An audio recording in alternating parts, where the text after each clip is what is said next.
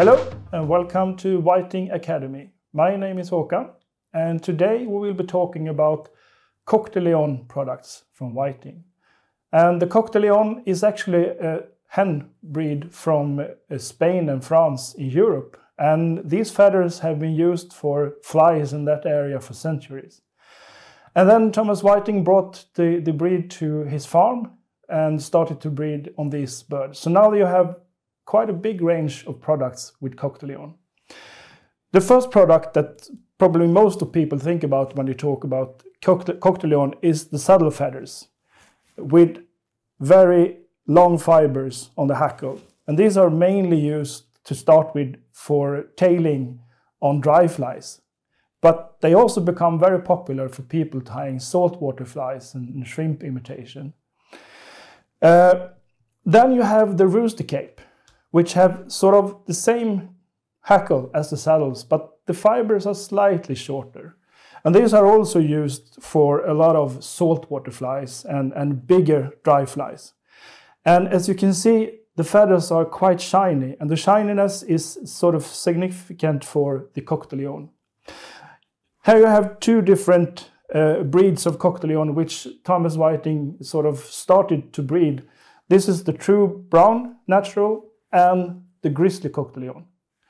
Uh, and these are available dyed as well. Now we have some products that probably not as well known as the rooster product, and that's the product from the hen. Uh, here you have the hen cape, which has the same sort of uh, coloration in the, in the hackle. So really nice uh, striking coloration. And the fibers are a bit stiffer than an ordinary hen feather, but it works excellent as a color on, on tube flies or saltwater flies. You can also use them on shrimp flies as well.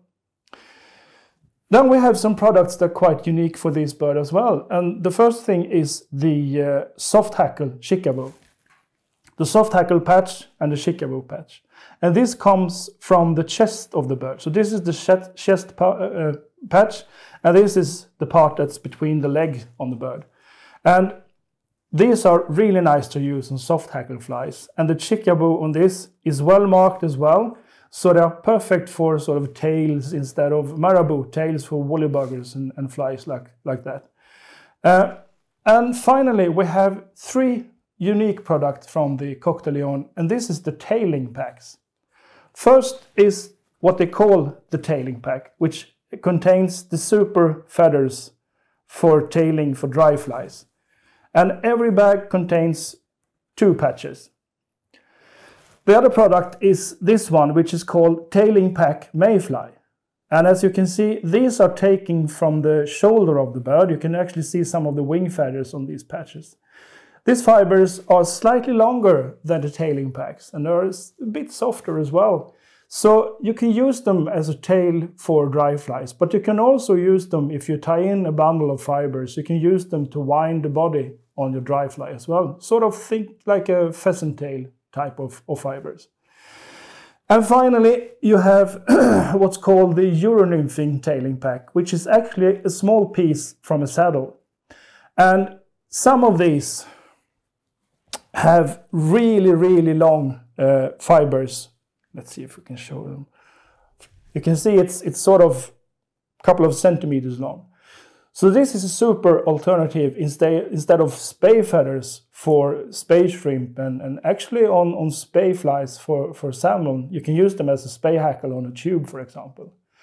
And they are main, the first thing with this is they were mainly thought as tailing on uh, jig nymphs. So they are available in some bright colors as well, which also works perfect on shrimp pattern. For example, orange, pink, red, and stuff like that. So this is an example of the range from Coq de Leon from Whiting.